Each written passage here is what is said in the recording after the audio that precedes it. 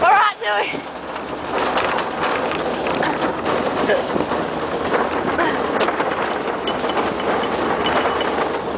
Don't worry. If you're starting to fall, I'll push you.